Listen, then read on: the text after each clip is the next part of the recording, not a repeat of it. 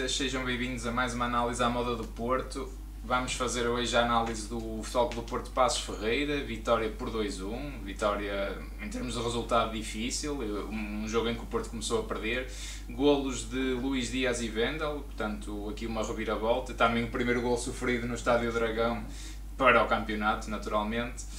Um, Dragão 27, o que é que assim, uma primeira análise, o que é que achaste desta partida? Não sei se queres começar pelo 11, uh, alguma coisa que tenha surpreendido? O 11, o 11 agradou-me. Também gostei. O 11 agradou-me. Arrojado, é? Foi arrojado, sem dúvida.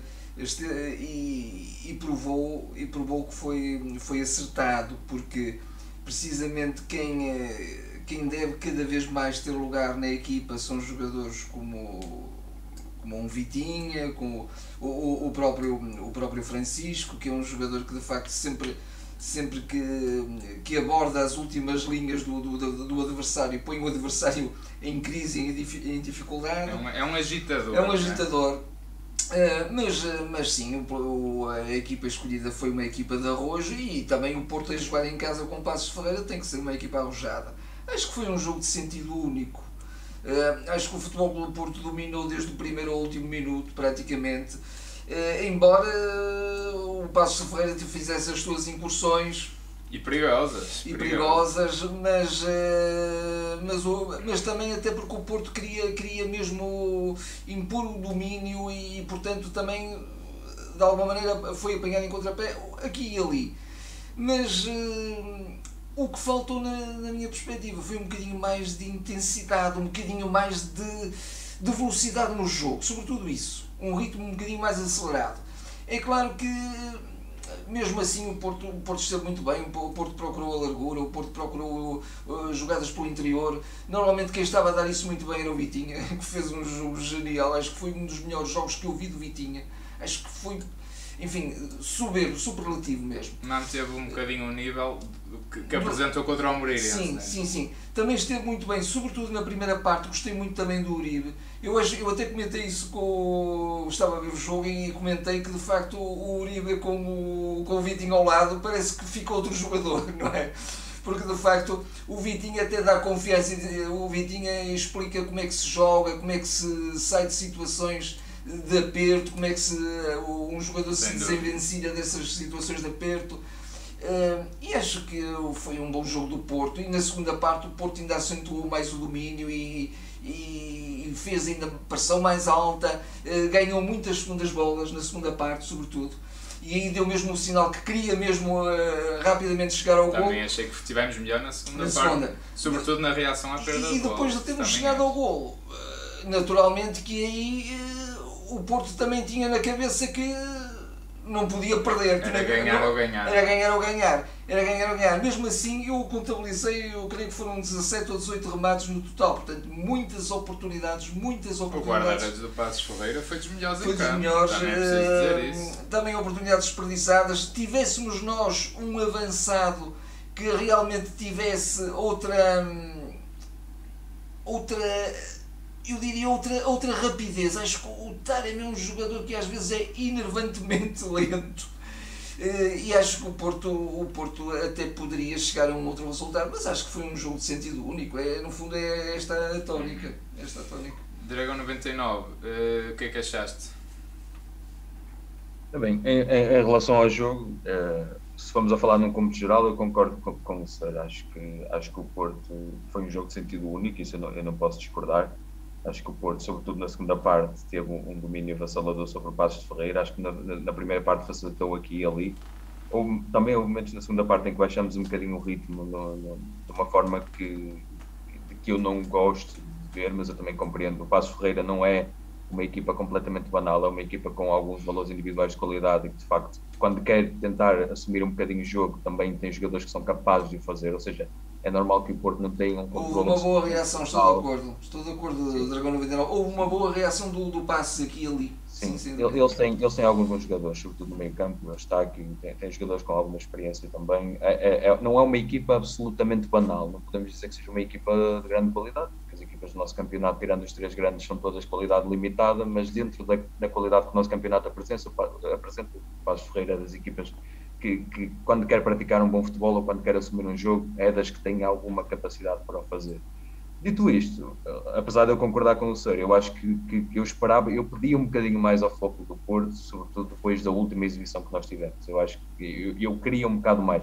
Eu compreendo que animicamente e psicologicamente a equipa não estivesse a 100%, porque ninguém se sente uh, o, o, rei, digamos assim, da, da sardinha assada, quando levou 5 na, na última partida mas a realidade é que a partir do momento que és o foco do Porto, sobretudo a jogar no campeonato contra um adversário como o Passos, tu tens que dar uma resposta cabal. E eu estou habituado a isso, eu sou portista, eu tenho 30 anos de idade, ou seja, eu não sou um portista da velha guarda, por exemplo, como o Sir, que já viu mais do que eu, eu vi pelo YouTube, ele, ele viu de outras maneiras, ele viu ao vivo e sentiu ao vivo, mas eu estou habituado a uma equipa do Porto e, e, foi a equipa que eu vi a crescer de quando tem que dar uma resposta, dar uma resposta destrutiva, dar uma resposta em que não há, não há nada absolutamente a apontar. Não há margem para dúvidas, não é? Não há margem para dúvidas. E hoje eu não vi isso. Eu vi uma equipa que quis dar essa resposta, mas que ainda assim aqui e ali não teve a capacidade ou não teve o espírito para dar essa resposta total. Se calhar o Dragão 99 tivesse a pontinha da sorte de chegar a um, a um terceiro golo e aí talvez, talvez uh, as coisas ficassem mesmo desniveladas. Mas estou de acordo sim. contigo, sem dúvida. Sim, sim, talvez sim. A, a questão é que uh, uh, o que era preciso para chegar ao terceiro golo era, estava do nosso lado, quer dizer, é insistir sim, mais. Sim, sim, o Ferreira não é um muro inquebrável, é um muro que vai quebrar consoante o ritmo e consoante a qualidade claro, dos lances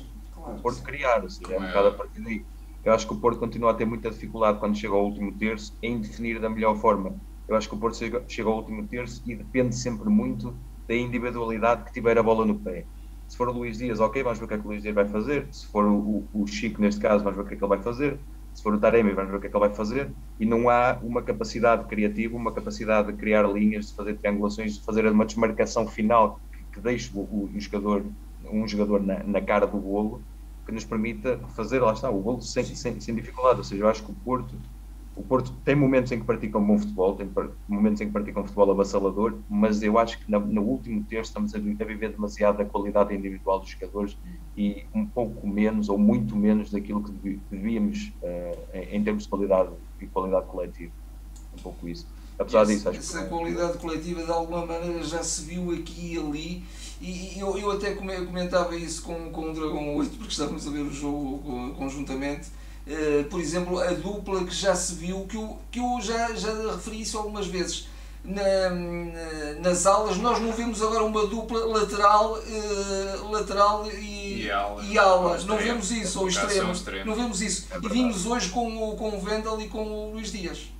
Eh, já vimos isso com muito agrado meu, mas, eh, mas sim. É, é eu, eu acho, o, que eu tenho a dizer é que eu acho que é, por, é este o caminho, se calhar são estes os jogadores, são estes os intérpretes, sobretudo para a maioria dos jogos, então em casa. Esse acho, jogo, acho desculpa, só, só, mesmo para acabar a minha ideia, esse, esse jogo coletivo que, que falta que, e que muito bem referiu o, o Dragão 99, acho que faltou sobretudo no último terço, mas já se viu no, no, digamos, no, no, segundo terço, não é? Já, já se vê ali alguma um futebol um bocadinho mais enliante, mais, mais, mais consistente, eu, eu, o, que mais eu, coletivo. O que eu acho é que também ainda não pode haver, porque sim, repara, sim, sim, eh, esta não foi se calhar a primeira equipa que o Sérgio delineou e, e, perspectivou para a temporada, porque na pré-época nunca vimos o Uribe e Bitinha a jogar juntos nunca vimos o, o, o, Chico, nomeadamente hoje a titular, e o Evan Nilsson, portanto não são jogadores que estejam rotinados nem que tenham minutos, a maior parte deles.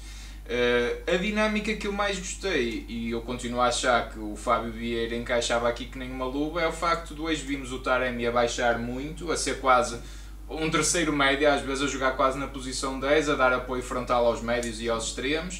Uh, e eu gosto dessa dinâmica, mas acho, e aqui concordo muito também com o que diz o Dragão 99, acho que de facto ainda assim falta romper as últimas linhas. Eu sei que as equipas jogam com blocos muito baixos, vêm sempre ao Dragão jogar com 5 uh, cinco defesas, ainda juntam os extremos, portanto aquilo é quase, são quase linhas de 7, uh, juntam muita linha do meio campo à linha defensiva e é muito difícil penetrar nessas linhas e jogar entre linhas, mas eu acho que o Porto tem que ser mais rápido, aqui concordo contigo, e tem que ter uma mobilidade maior uh, para conseguir penetrar neste último terço, porque acho que a ideia até está lá, mas falta um bocado de rotinas, falta velocidade uh, e de facto não se pode depender tanto dos, do, das individualidades. Isso ainda acontece muito. Falta aparecer um médio com uma dinâmica, aparecer um médico a dar um médico, um médio a dar apoio ao, ao, ao extremo, falta, como tu dizes e bem, e já vai acontecendo, o lateral também vir e fazer tabelas, criar, criar dois para um, criar essa superioridade numérica tanto nos corredores laterais como no corredor central. Uh, e porque, por, isto porquê? Porque de facto os golos hoje foi o Luís Dias que marcou num, um golo merecidíssimo num ressalto e foi também numa bola parada no Vena. Portanto, o, o Porto continua com muita dificuldade no ataque posicional. É, é, é difícil penetrar nos últimos terços, no, no último terço. É, é, isso continua a ser um problema. Mesmo assim, vou louvar, na minha perspectiva, o jogo de paciência do Porto. Acho que o Porto também foi Sim, paciente. E não se foi abaixo com o gol, porque podia tremer um bocadinho. O Porto nunca foi uma equipa nervosa. Eh, agora, não foi a equipa que tivesse a confiança suficiente para fazer o tal jogo que o Dragão 99 pedia, não é? Essa confiança ainda não, está lá, não estava lá. Porque... Estava lá, e há uma coisa que é assim, a gente não está a falar porque ganhamos, mas é assim, o, hoje o árbitro também estava ali uma encomenda, mas Sim. que encomenda, porque é assim, aquele primeiro gol que também que ainda traz mais intranquilidade ao Porto, aquilo é falta sobre o Marcano. Sobretudo, se dissessem assim, estamos na Premier League, opa, eu sequer até admitia que não. Mas há um, há um, há um empurrão claro sobre as costas do Marcano que o tira fora da jogada, que deixa o Porto em inferioridade numérica e o, e o, e o Passos, por muito que o Diogo Costa ainda tenha defendido, depois ficou com superioridade numérica e conseguiu fazer o gol, portanto. E depois há mais um outro lance que, que foi, foi um festival sim, aqui do São Manuel Mota. Uh, em, em, em... Não, força, força. Diz, diz, diz, Dragão 99. Não, ia dizer que a arbitragem foi, foi, foi paupérrima, que é, isto é, é nem é, eu, eu acho que a única, decisão, a única decisão fulcral que foi efetivamente acertada foi agora na expulsão do Taremi, porque de facto eu não considero aquilo penalti, Concordo. e também não. Ou seja, tudo bem, mas todas as outras decisões tiveram algum impacto. Eu, isto é, eu, eu estava a perder a cabeça, se-me partir a televisão em dois. Porque é genuinamente, eu não entendo. A arbitragem, assim, para ser árbitro é preciso ser profissional. Há cursos a tirar as pessoas, quando não têm competência para acabar um curso, não o acabam, chumbam e têm que tentar repetir se quiserem. Como é que estas pessoas, estes indivíduos, chegam a árbitros profissionais? Ou se a competência está lá, como é que a ética, como é que a ética e a, e a moral não estão lá? Porque isto é completamente absurdo. Há um lance e eu não, me, eu, não, eu não me recordo exatamente qual é o jogador do Porto que tem a bola naquele momento. Eu sei que foi na faixa esquerda, eu não tinha ideia se é o Vitinho, se é o Uribe, eu já não tenho a certeza, mas eu lembro do lance uh, em questão de ver o que é que o árbitro estava a fazer eu fiquei completamente. Eu, eu, eu ia perdendo a cabeça nesse momento, que é um momento em que há uma bola que, que sobra para um jogador do Porto e, e é difícil de perceber, é, é, pouco perceptível, pelo menos através da televisão, se a bola tocou no corpo ou se tocou no braço. E há um momento em que eu vejo o árbitro, eu estou a ver esse lance, eu já estou a ver o árbitro com a mão quase a chegar à boca para apitar, mas com uma bola e isto seria falta a favor do Passo Ferreira, como a bola acabou por não criar um lance positivo para o Porto, ou seja, não, houve, não, não foi o Porto a avançar com a, bola, com a bola para a frente, mas a bola simplesmente acabou por ser passada para trás e o jogo continuou, a bola foi para trás, o árbitro deixa seguir como ok, não tem que apitar porque não há um lance de perigo para o Porto. Porque aquilo, a sensação que me dá é que não há absolutamente falta nenhuma. Não me pareceu falta nenhuma, não me pareceu mão absolutamente nenhuma. Mas eu olhando para o árbitro, deu-me a mesma sensação genuína que ele já ia apitar uma mão caso o Porto fosse criar alguma coisa a partir dali seja, isso é a tendência que o jogo teve toda. Foi, é, é, é, eu nem, não há palavras para descrever aquilo que aconteceu. Eu fico genuinamente.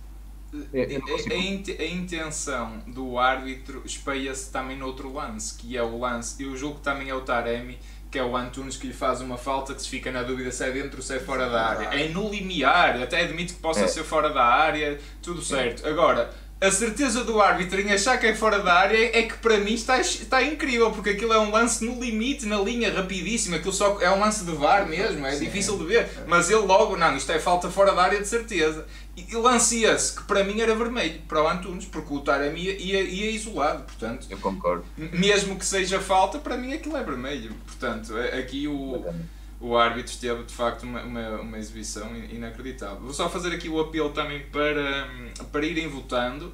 Está o link na descrição, também já pus na, no, no chat da Twitch. Uh, vão votando, deem as vossas votações e daqui a bocadinho já vamos individualmente também dar aqui as nossas pontuações em direto. Uh, mais, uma questão que eu tinha aqui para vocês também para discutirmos é não sei se ficaram surpreendidos com isso, que é a questão do Mbemba uh, estar no banco. Uh, por dois aspectos. Porque Pepe pareceu-me estar bem, mas se calhar foi um bocadinho arriscado jogar com o Pepe, embora eu perceba porque o Pepe é fundamental. E outra é, mesmo que o Pepe esteja bem, jogou o Marcano e não o Mbemba. Portanto, houve aqui uma, uma alteração na, na, dupla titular dos últimos tempos do Futebol Clube do Porto. Não sei se vocês ficaram surpreendidos com isso, eu fiquei, somos sinceros. Fiquei, sem dúvida também, mas por várias ocasiões o Sérgio já tem manifestado preferência. Ele gosta muito desta dupla Sim, também, não é? E, e, aliás, esta é a velha dupla dele, não é? Mas Sim. ele tem preferência por uma dupla em que haja do lado esquerdo um defesa central que seja escredido. Ele tem essa preferência. Eh, sim, chegou a manifestar tese, isso. Em tese, sim, ele, defende isso. Eu percebo, uh, faz algum sentido não quis tirar o Marcano, não sei, não sei, o Marcano eh, porque, porque teria que ser o Marcano, não é? Se tirasse o Movimento, ele não ia tirar o Pepe. O Está claro. no Pepe apto, naturalmente. Claro. Talvez um bocadinho seja essa a explicação, ele querer de alguma maneira premiar o, o, trabalho que tem sido feito pelo Marcano, que de alguma maneira tem sido também um trabalho. Eh, não me parece que ele tenha estado muito bem de todo no, no jogo com o, com o Liverpool, mas aí não esteve ninguém. Não esteve ninguém. não esteve ninguém mas eh, ele até refere, por exemplo, que o Marcano é um jogador que vem de 7 meses, de uma lesão de 7 meses, portanto uma lesão complicadíssima, muito, muito... Mas antes disso ele era titular. Era titular, era, absoluto, titular. Era ele e o Pepe, Não sei se ele vai manter isto, porventura de... Talvez não, do, eh, ele dará... Ele agora está um bocadinho na lógica também de dar alguma, algumas oportunidades vai, vai rodando um bocadinho a equipa. Eu estou admirado Nesse aspecto, até, até, até, temos de estar agradados porque nós sim, pedimos isso, não é? Sim, eu gosto, gosto de ver o Chico, hoje foi eh, titular, o eh, mais, do, mais do que até de discutir a dupla, embora, embora seja surpreendente, sem dúvida, é a questão de, de facto da, da forma como comanda a defesa o Pep. É uma coisa de facto fantástica. Não, traz outra tranquilidade. Traz outra é? tranquilidade. É? O posicionamento, os pequenos sinais que ele dá nos alinhamentos, no, no, claro. no tirar partido do fora de jogo é fantástico, é fantástico. Sem dúvida. Em, em, em relação a, a, a, só fazendo uma pequena chega, mas em relação às mudanças, eu acho que tem muito a ver com aquilo que foi o último jogo do Porto na Liga dos Campeões. Também, também acredito. Aquele pesadelo, aquele pesadelo, pesadelo do meio da semana que ninguém se quer lembrar, mas que infelizmente foi real. Acho que tem muito a ver com isso, tem muito a ver com a resposta que alguns jogadores deram e ao quão, a quantas insónias o Sérgio teve a partir desse jogo, que eu acredito qualquer, qualquer treinador, acho que qualquer adepto tem e qualquer treinador do clube em questão também iria ter.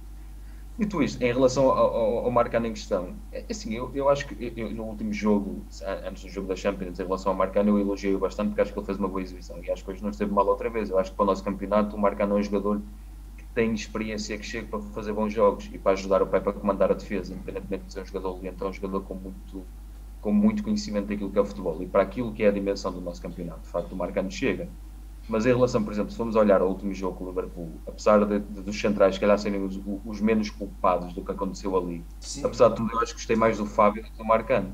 E se formos olhar para o Fábio, o Fábio é um jogador que nunca tinha sequer basicamente calçado. E hoje volta, voltou para a bancada. Exato, é, é, é, isso. É, o miúdo foi atirado a um jogo com o Liverpool sem ter um único minuto, fez um jogo competente, se calhar acima daquele que o parceiro, que é um jogador com anos e anos, com mais de uma década de experiência a alto nível, teve e, e, e foi preterido para a bancada como se não tivesse feito nada, para que o colega que teve, a meu ver, teve furos abaixo dele no jogo com o Liverpool, embora, volto a dizer, a culpa não foi de um nem foi de dois, foi de todos. Claro, claro. Teve um furos abaixo, tenha sido titular outra vez. Ou seja, isto mostra como o Sérgio de facto tem aquelas preferências e que as morrisse de que este é o jogador que eu quero e é neste que eu vou insistir e vai ser até à última mesmo. E isso custa-me um bocadinho, porque eu acho de facto que o Fábio é um jogador que pode eu acho que mesmo que o Liverpool ele mostrou que é um jogador que se tiver continuidade e tiver aposta, ele pode dar muito ao outro. Acho que ele pode ser mesmo um grande central. Agora, as opções do Sérgio são que são, as escolhas são dele. O Marcano jogou hoje e esteve competente. Aliás, fez um, um excelente corte, um corte. Até foi um pouco arriscado, mas foi um excelente corte. Em relação com um lance em que foi uma bola longa que ia desmarcar o avançado do passo, não tenho certeza qual deles era. Mas ia ser desmarcação e o Marcano fez um excelente corte e para além disso esteve, esteve bem. Como eu digo, para o nosso campeonato, eu percebo que o Marcano chega e chega pelo menos em jogos com um nível mais. Como o Passos Ferreira, se calhar, outros jogos pode ser um pouco mais complicado. Mas, mas eu gostava de ver a afirmação do Fábio e acho que enquanto o Mbemba foi jogador do Porto, acho que ele merece a titularidade mais que o Marcano. Mas também não Sim, posso sem dúvida, estou, estou de acordo, estou de acordo. O- Outra questão aqui da defesa eh, está aqui a ser eh, referida aqui pelo, pelo, pelo Langers que diz assim, mete o Zaido eh, ir- ironicamente, não é? obviamente, mas de facto a questão, novamente, não é para ir voltar a este jogo, mas até é pegar se calhar no, no jogo de hoje, porque quer dizer, o Vendel está a, a- a- Há anos-luz. a anos-luz do Zaidu, é, é clara, é evidente para toda a gente. E, e, e o Zaidu jogar na Liga dos Campeões ainda continua a ser algo que, que eu, eu, eu não, não compreendo, eu sou, sou mesmo sincero, não compreendo. Mesmo até, ok, as, as características, o Zaidu e tal, já tem, já tem mais, vamos pôr aqui entre, entre aspas, já tem mais experiência de Champions que jogou lá o ano passado e tal, não sei o quê. Sei o que é que vai muito bem na cabeça do Sérgio, mas isto, a exibição de hoje do Vendel, que mesmo se falhou alguns passos assim, mas a envolvência dele, a qualidade técnica dele, a capacidade de remate, capacidade de, de jogar por dentro, jogar por fora, é um jogador que se envolve muito bem no processo ofensivo. Ah, isto. Até o Manafá entrou, entrou bem ali, quer Tornámos dizer, a o Zaidu ali é que tornámos a ter um bom lateral esquerdo. Pois. já não vimos, já, que saudades nós tínhamos do Alex, não é? Pois, Sendo jogadores muito diferentes, obviamente. Mas acho que o Sérgio, sobretudo neste jogo, também deu dois sinais. Eh, refrescou um bocadinho a equipa, e bem, e bem, eu e acho bem, com sim. o Francisco, com o Evan Nilsson, com o Vi- o Vitinha um seu melhor nível e o Vitinha é sempre um, um refrescar constante, não é? Porque, porque, tem, porque tem o gênio, porque é um tem o gênio. Ele tem pormenores que, que é uma coisa que a gente Mas, ficava aqui mas a noite toda. simultaneamente eh, achei que também não quis eh, punir os jogadores. Não quis punir os jogadores, porque ele, por exemplo, o, o Diogo ele insistiu com ele e a meu ver muito bem. Olha, ainda bem que tocas Não é? nisso, porque falou-se dessa. Eu acho que era um escândalo tirar o Diogo Costa, sinceramente, acho que era um erro tremendo.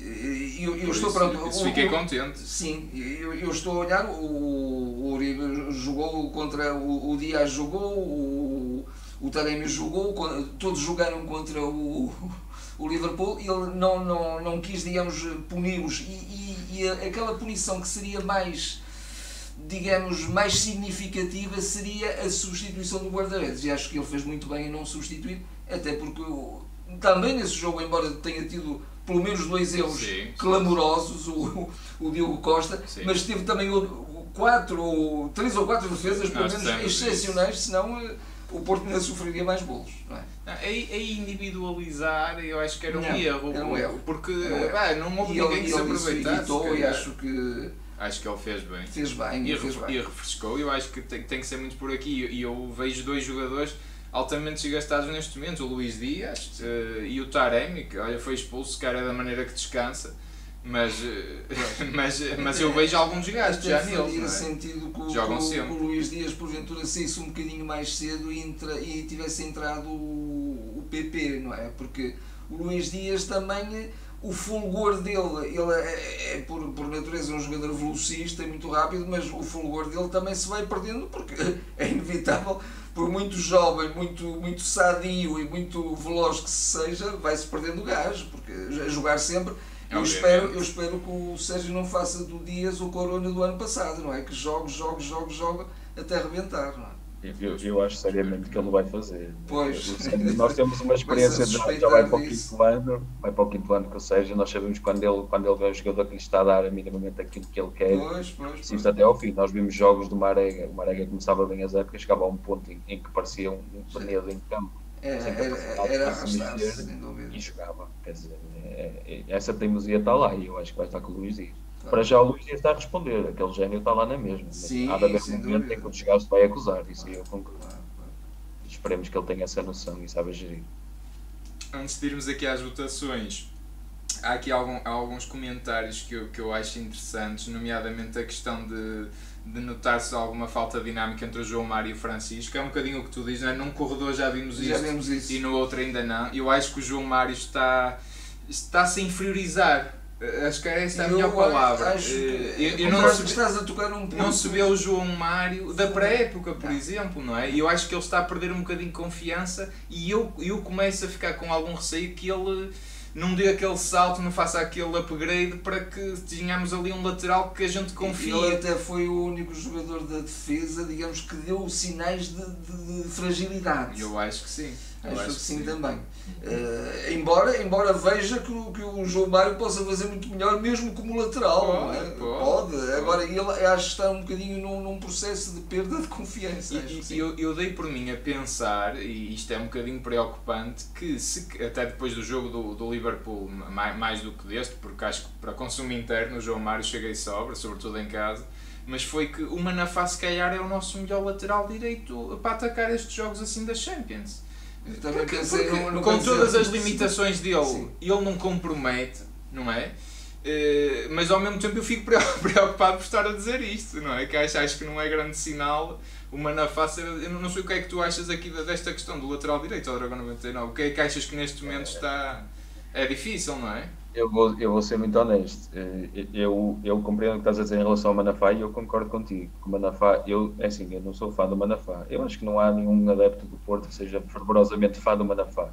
Dito isto, a realidade é que o Manafá defensivamente é competente e ele tem uma capacidade que, por exemplo, vamos comparar, digamos assim, eu vou usar um, um termo um bocado agressivo, mas mecos, ok? Vamos comparar o meco da esquerda, que é o Zaidu, e o meco da direita, que é o Manafá e o Manafá tem uma capacidade de levar a equipa para a frente, de ganhar metros e de segurar a bola, não sei, não tem. O Zaidu e ele hoje entrou bem. Não perde a bola. Entrou bem o Manafá, por exemplo. Mas o Manafá não tem isso. O Manafá nunca foi um jogador que perdesse a bola com facilidade ou que ganhasse metros para a equipa. O grande problema do Manafá é a capacidade decisiva, é a capacidade na frente de saber fazer um bom cruzamento ou um bom passe no momento certo. Ora, se o Manafá tiver um jogador, um, um, um colega no meio campo, um médio centro do lado direito que lhe dê uma linha que lhe dê suporte nesse aspecto e que saiba cobri-lo quando ele sobe. E tiver um extremo a quem ele possa entregar a bola, que tenha uma boa capacidade de cruzamento, eu acho que o Manafá em jogos, como por exemplo o Liverpool, é uma aposta muito mais segura Também e que vai dar muita mais segurança do, que o João Mário. Eu, o João Mário, eu, eu, eu tenho, eu, eu, não, eu gosto do João Mário, porque eu olho para ele e eu vejo ali um jogador com qualidade acima da média. Pois, é isso, é isso, é isso. O grande problema é que, embora nós tenhamos a noção que ele é um jogador que ele tem claramente estar encostado à linha, nota-se que isso está no ADN dele, eu acho que ele não é bem um extremo, nem é bem um lateral. Eu não sei bem o que é que ele é. E esse é o principal problema do João Mário. Eu não sei até que ponto é que ele sabe o que é que ele é, ou se o próprio Sérgio Conceição sabe o melhor que ele pode dar. Porque eu não vejo nele um lateral muito completo, nem vejo nele um extremo muito completo. Eu vejo nele um jogador que tem capacidade e que tem qualidades boas para as duas posições, mas eu não sei em qual delas é que ele vai ser o melhor João Mário, genuinamente. E, e eu, é eu, se tivesse que responder a isso, acho que o João Mário se encaixaria muito bem num sistema com três centrais e, e ia jogar com alas, um bocadinho como joga o é Sporting e agora o Benfica.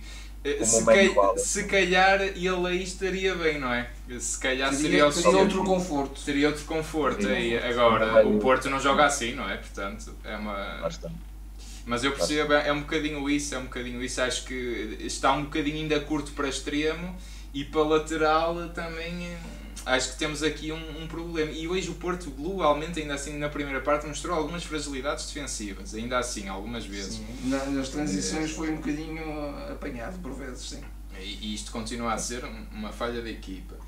Uh, vamos avançar aqui para as pontuações. Uh, volto a fazer o apelo para votarem em casa. Uh, votem para, para termos aqui uma ideia global do, do pensamento da nação portista, o que é que acham de, dos nossos jogadores individualmente.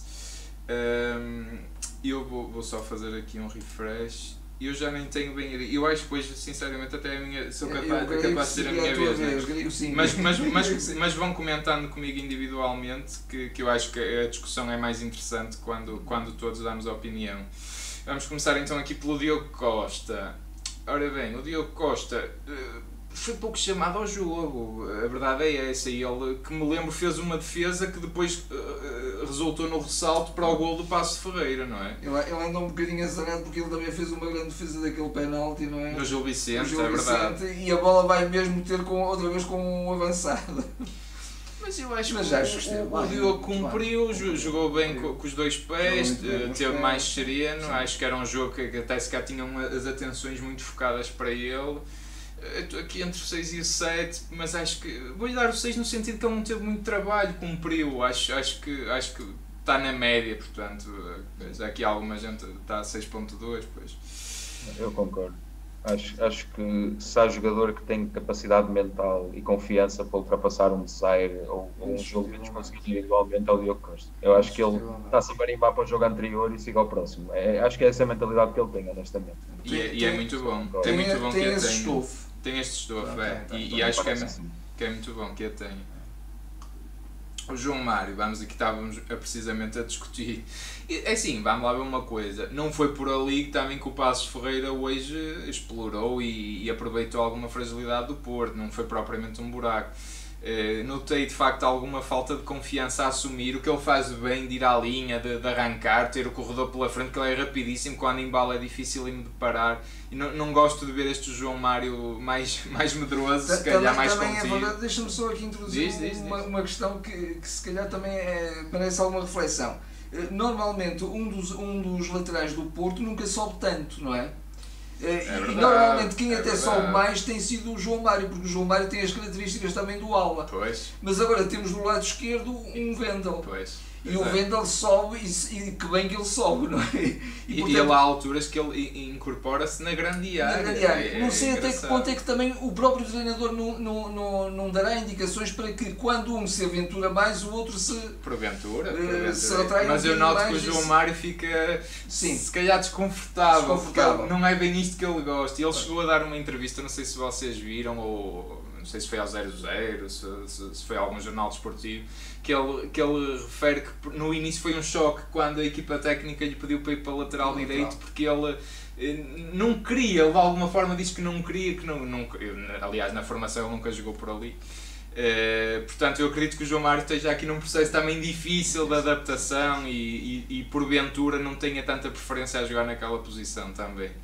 Uh, eu vou-lhe dar o 6, para onde acho que ainda assim cumpriu, acho que é, pois aqui já está uma média de 4.3, um bocadinho abaixo, comparando com o Diogo acho que esteve pior, mas eu também acho que não esteve assim tão mal, portanto eu vou manter o 6. Vou, vamos avançar para o Pepe, o capitão, que é o Pepe, não é? Se calhar se ele tivesse com o Liverpool era, era uma outra história. É, é logo ali o patrão da defesa. Todos nós estamos mais tranquilos quando vemos ali o Pepe, não é? Acho que esse é o melhor elogio. Eu acho que lhe vou dar um 8 porque o Pepe desde já é. Eu já estive a fazer essa estatística e está disponível no nosso site dragonautêntico.pt.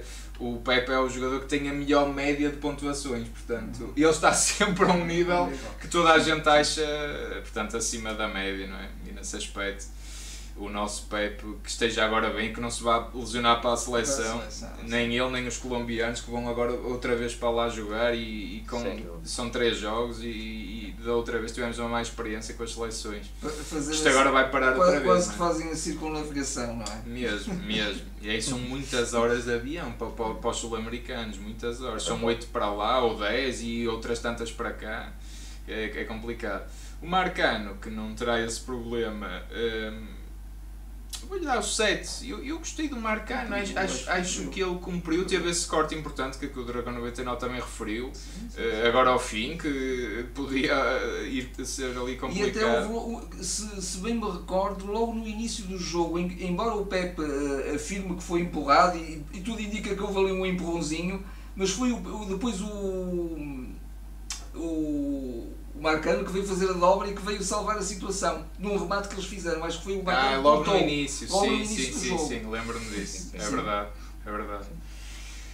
Uh, o Vendel, vamos avançar. O Vendel acho que é um, é um, dos, um dos homens da partida. Acho que falta-lhe um bocadinho melhorar a sua capacidade de definição. Acho que falhou muitos passos, falhou muitos passos, isso ficou-me na retina, mas, mas quer dizer, o Vendel, a, a bola sorri para o Vendel, não é? E, e, ele faz um bocadinho o que quer, tem um golo espetacular que se calhar pouca gente faria.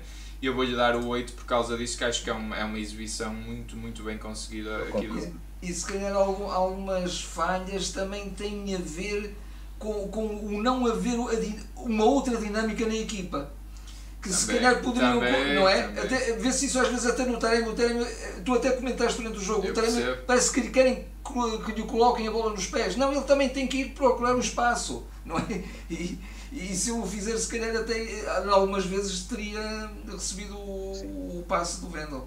O Vendel é um jogador que tem rotinas numa equipa há 8 anos, quer dizer, ele teve 8 anos no Leverkusen e há muitos colegas que tiveram quase esses 8 anos com ele, ou seja, é claro, normal que ele tenha algumas dinâmicas porque se repararmos bem os passos que ele falhou, eram passos bem pensados. Sim, não eram passos exatamente. É verdade, que é Eram exato, passos bem pensados, ou seja, é uma questão de dinâmica da equipa, de perceber os companheiros também percebem porque sim, sim, sim, sim, Wendel sem é- dúvida. sem É, dúvida. de- desde o Alex Telles, lá está. Também a única experiência que tivemos foi o Zaidu, mas o Wendel é, é, uma, é uma dádiva divina, quer dizer, é um jogador, é um jogador de futebol assim. É, Sim, sem dúvida. Indiscutível. Sem dúvida. Sem dúvida.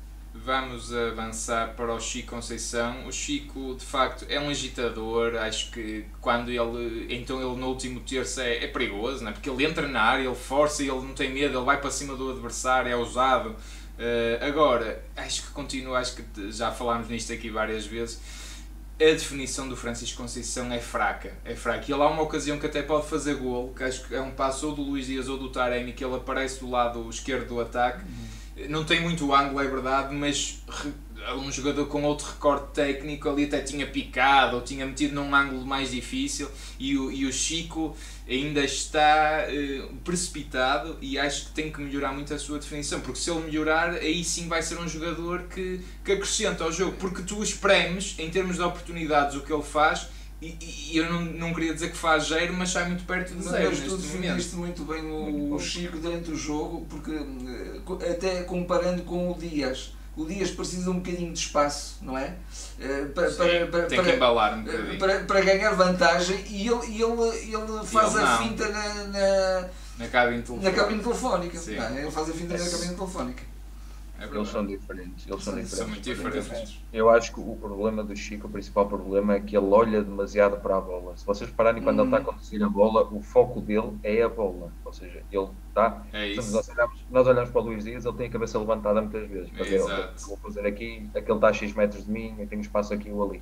O Chico cola a bola, porque ele sabe que cola a bola ao pé e que é difícil tirar-lhe. Então ele cola Sim, a visão sim, da sim. bola e ele tem que começar a mudar isso. Ele tem que começar a levantar a cabeça e Sim, ver onde sim, está a sim, bola. A partir do momento que ele fizer isso melhor, o nível dele vai, vai evoluir muito. Isso eu concordo. Isto para dizer que eu não lhe queria dar um 5, parece um bocadinho penoso para ele, mas eu acho que vou ter que dar porque acho Não. que acho que acho que acho que pede-se mais e, e, o- e o Chico não esteve mal, mas acho que lá está, tu espremes e é pouco, é pouco, em termos de perigo acaba por ser pouco. Ele força, ganha cantos e tudo mais, mas acho que para o que a gente reconhece e vê do Chico, acho, que- acho que se pode pedir Eu mais. depois também vou fazer a minha votação e, dava-lhe um bocadinho mais, mas. Pronto, é, é- é o que é.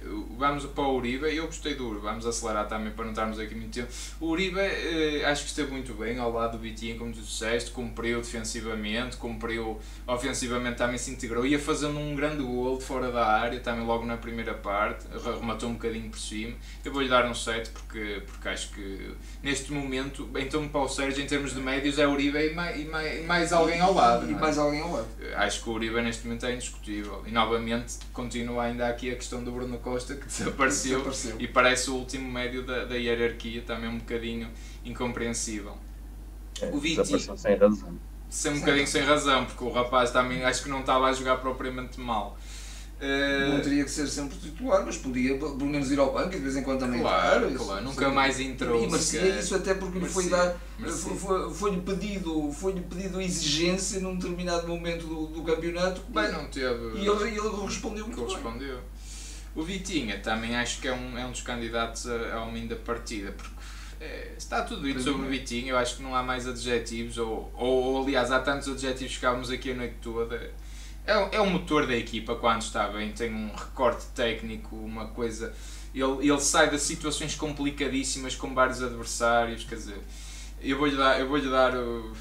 Esse cara ia-lhe dar o 9 mesmo, porque eu adoro o Vitinha, pá, tenho, te- tenho que dar e, e eu acho que o Vitinha foi, Totalmente, totalmente. foi o influencer do jogo, Do jogo. Em, em relação ao Porto. Acho, acho eu, que. eu, eu até diria, não sei se vocês concordam, mas que há dois jogadores que não podem sair mais da equipa. Um é o Vitinha, outro é o, o Vendel. vá. eu- sim, Sim, sim, concordo sim. bem. podem sair Concordo. Eu acho que quando, quando o Vitinha falha um passo, é simplesmente porque os colegas de equipa não pensaram tão à frente como ele. É literalmente Sim, aquilo sim, que eu acho. É, não há nada. E, e hoje volta a estar a um bom nível. Acho que não esteve tão bem em Barcelos, nós não comentámos na altura Sim. desse jogo. Acho que aí esteve um bocadinho mais errático, Eu mas hoje, hoje, hoje volta a estar muito bem. O Luís Dias, que também que faz o, o primeiro gol do empate, É Luís Dias, eu, eu noto um bocadinho cansado, acho que não está com aquele fulgor físico, aquela capacidade de aceleração, mas é compreensível devido ao desgaste de tudo.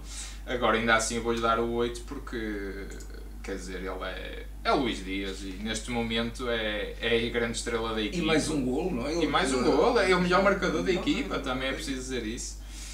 Vamos aqui ao Evan Nilsson, é um jogador interessante para discutir. O Evan Nilsson, acho que é ao contrário, falta-lhe ritmo, falta-lhe minutos. Uh, Nota-se que está um bocadinho perro, acho que é melhor essa expressão agora. E ele tem apontamentos que continua a deliciar-me, ia marcando um gol de cabeça que infelizmente foi à trave.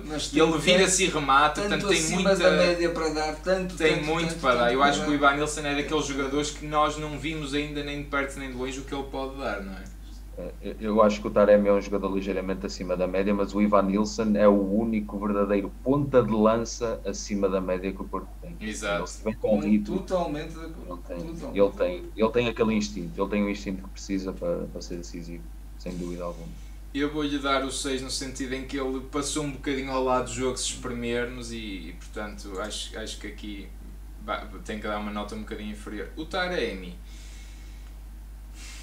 Taremi é complicado porque é assim, irritou-me profundamente pá, e eu só por causa disso apetece-me dar-lhe quase uma nota negativa. Como é que um avançado, pá, sinceramente faz-me confusão, um avançado que vai, pode fazer um golo, passou o adversário ele já passou, já tinha fintado o adversário naquele lance.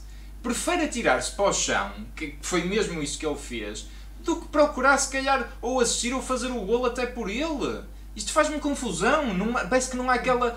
Eu, eu, via- eu, eu, eu estou habituado a avançados do Porto, aos Falcões e aos Jacksons, que se calhar sofriam penalti, mas preferiam continuar para marcar o golo a seguir. Eu, não, eu quero é marcar golo, não quero inventar penaltis. Isto, isto irrita-me, Eu só, isto só, irrita-me, só sinceramente. lhe dou o benefício da dúvida numa coisa. Ele, ele, ele caiu, é verdade, e, tudo, e, e parece mesmo que está a procurar eh, a queda, mas ele pisou o adversário, curiosamente.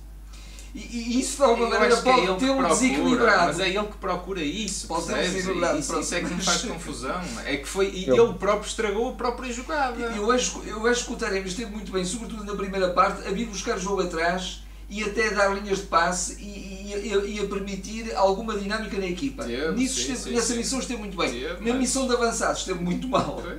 Muito mal, sempre muito lento e a chegar tarde às bolas. Sim. É, porque eu também acho que, que isso é um pouco que lhe pedem algo que, que, que, teoricamente ele sendo o jogador que é da posição que é não deveria fazer. Lá está. Eu acho que se o Porto quer um jogador que venha tão abaixo e construa jogo, devia Pois. jogar com o Fábio Vieira ali e não o Taremi. Exatamente. Também acho. Aliás, Por o- isto, eu, eu, eu concordo. Eu acho que o Taremi até fez um jogo bastante competente. Ele faz jogos competentes e é um jogador com, com qualidade acima da média. Mas de facto, da forma como ele tentou ganhar aquele penalti, mesmo, mesmo que ele tenha pisado o adversário, eu honestamente, mesmo que haja um pequeno toque, eu acho que ele força um pouco ali a queda e só- por um penalti. E isso também me aflige um pouco, porque eu quero um jogador que prefira rematar a baliza e fazer gol do que esperar por um penalti. É. Agora, eu, eu acho que ele é melhor. Eu, eu, eu não acho que o Taremi. Assim, eu, podia dizer, eu ia dizer que eu não acho que ele seja um grande finalizador, e depois eu lembro-me do gol que ele marcou na jornada passada e nem devia abrir a boca, porque aquilo foi absolutamente soberbo. Mas, mesmo. mas eu acho que, que ele é um jogador com bola corrida, sem tempo a pensar. Ele não é um finalizador de todo, mas é um bom batedor de penaltis, ou seja, também pode partir um bocadinho daí. E eu acho que os jogadores também estavam um bocado frustrados com o árbitro, com a arbitragem toda. Também pode ter partido por aí. Há muitas, há muitas questões. Talvez, Mas, mas talvez. concordo, concordo que, que ele não deveria ter feito, sem dúvida alguma. E, e- e eu acho que se ele esteve bem na primeira parte, na segunda tentava fazer eh, coxinhas a toda a gente, perdeu Ah, imensas sim, bolas. Isso era, isso era irritante. Hou- mesmo. Houve uma Isso era par, eu acho que foram um período para 20 minutos que a bola ia ao Taremi e perdia-se a jogada. Porque ele ou fintava, ou era lento, ou chegava lento, a- a- chegava tarde aos lances, eh, gostava-lhe arrancar. E eu, eu não gostei, eu vou-lhe dar um 5 porque eu, eu, eu gostei mesmo um pouco do Taremi, sinceramente. E, e aquele lance marcou-me, sinceramente. eh, tenho que ser sincero. Aqui para, para terminarmos nos suplentes, o Manafá acho que entrou bem, sinceramente, entrou muito bem e até podia tremer um bocado, o jogo ainda estava 2-1, eh, entrou para o lado esquerdo que não é o seu lado preferi, eh, preferido, portanto eu, eu vou-lhe dar o 7, que eu gostei muito da entrada do Manafá, sou, sou sincero. Eh, para terminarmos, o Sérgio Oliveira eh, Então, não está ainda no seu melhor, não é? O Sérgio Oliveira. Eh, ainda está um bocadinho perro agora. Acho que tem que ir entrando, a gente precisa do melhor Sérgio Oliveira, a verdade é essa. Uh, e é um jogador vou-lhe dar o 6, é um pronto, cumprir minimamente, mas... É um jogador que cresce também tem tempo de jogo, não é? Também tem que ter, ele tem que estar ao, Tem que ter rodagem, não é? Eu acho é. que ele desesperadamente quer esse tempo de jogo. Pois, pois quer. Eu acho que ele mesmo individualmente quer esse tempo de jogo. Sim, sim, sim, sim. Vamos ver. Por último, uh, acho que é o último exatamente, o PP. Sim, o Martínez foi mesmo. O Tony Martínez entrou dois ou três minutos, eu nem, nem o submeti aqui para votação. O PP tem um toque de. Eu gosto muito, tudo o que o PP faz com bola agrada-me. Eu acho que o PP tem que ter mais minutos, tem que descansar muito mais o Luís Dias eh, porque também já tá, cai tudo em cima de Luís Dias, já está tudo à espera do que, é que ele vai fazer e os adversários também fazem uma marcação muito agressiva. Eu acho que o Pepe tem que jogar muito mais porque acho que está. dá gosto, deixa água Sim, na boca, queremos ver mais, não é? Eu, eu vou-lhe eu vou dar o. Ele não, não teve grande influência, eu estou aqui entre o 6 e o 7. Acho que vou para o 7 porque eu gosto de jogadores com bom recorde técnico e, e acho que é preciso. Os PPs são sempre bem-vindos, portanto Uh, posso estar aqui a ser injusto com alguns jogadores que dei 6. Então, mas, então, quando nós falamos que o Porto tem 18 remates e tem tantas. Ou, ou melhor, poderia. tem tanta carência de, de, de, de jogadores que, que, resolvam os jogos e se temos jogadores que claro. podem resolver os jogos, porque é que não, claro. não os metemos? Não é um bocadinho é, isso.